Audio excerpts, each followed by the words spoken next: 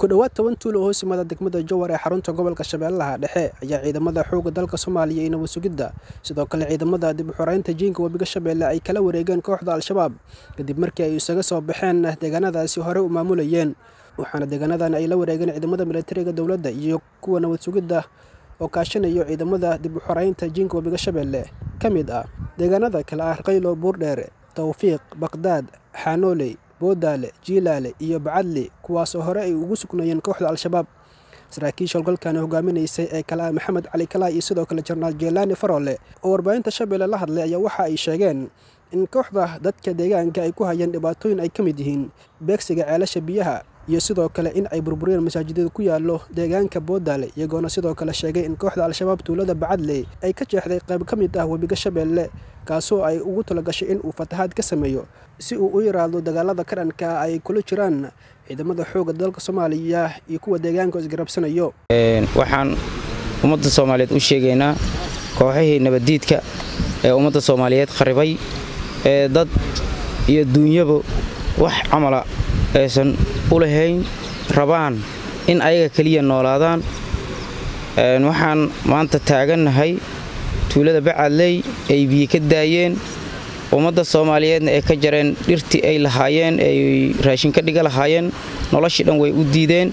Waxaan ka soo dhaqaajinay xabaadley kadib markaan dhibku u adkaysan weynay waxaan hadda taagannahay tuulada bacadley intaasoo tuulaan soo dhaafnay oo raqaylow xaanooley tawfiiq meesha layidhaha baqhdaad boodaale jiilaale.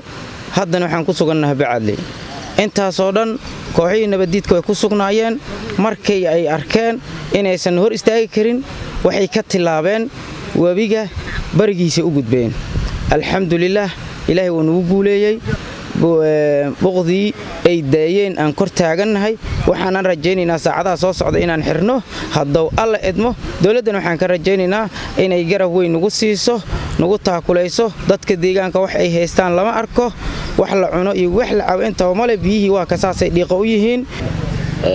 Ummadda soomaaliyeed waxaan u sheegaynaa qoladii nabaddiidka ahay ee al-shabaab.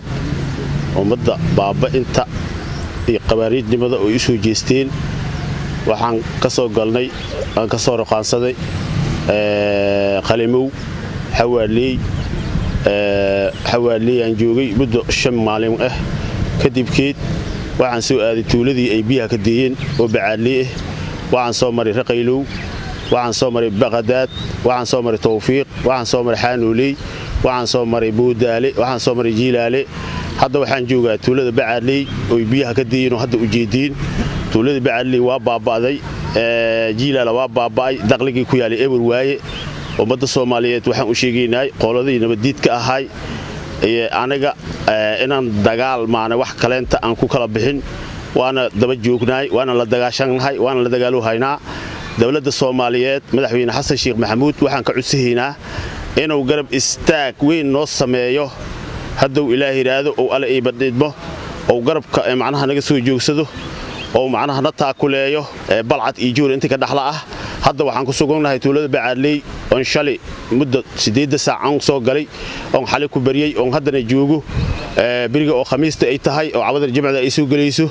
Biyahaasna inaan ummadda ka shiro oon ka xiro oon u joogo waxaan ka codsahaynaa madaxweynaha iyo madaxweynaha hirshabeelle waxaan ka codsahaynaa inay na garab joogsadaan oy ummaddan u soo gargaaraan oy ummaddan macnaha waa baaba'day wax u yaal male beerahoodii uu koodayaayaa biyo looga deeyey si qasib ah oo macnaha beerahoodii waxay ku cunaan ama waxay waxaystaan ma leh annagana haddii ula raado waxaan diyaar u nahay inaan difaacno nin allaala ninkii ummadda dhibaayo oo ummadda soomaaliyeed ka soo horjeedo inaan dhiiggaan u bixino oon dhiiggayn haddii ula raado ku baxo oon ku dhimano annagaa diyaar u ah waxaan cusahaynaa dowladda soomaaliya inta joogto inaan macnaha garab istaag weyn oynoo sameeyaan.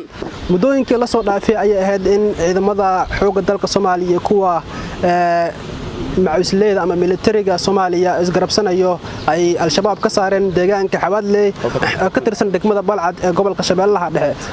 Waxaana howlgalladan ay noqon doonaan kuwa sii socon doono islamarkaana lagu baacsanayo urarka al-shabaab. Cabdiraxmaan aadan shamcuun warbaahinta shabeelle بعد